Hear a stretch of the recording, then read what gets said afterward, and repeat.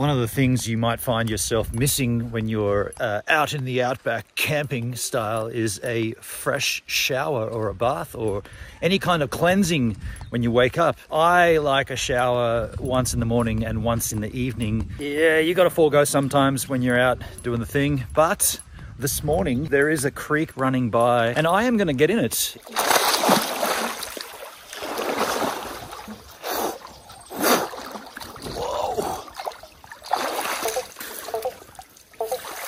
far out. That's freezing.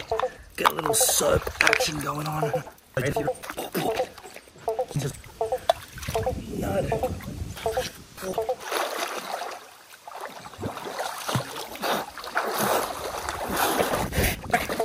Holy crap, that is cold.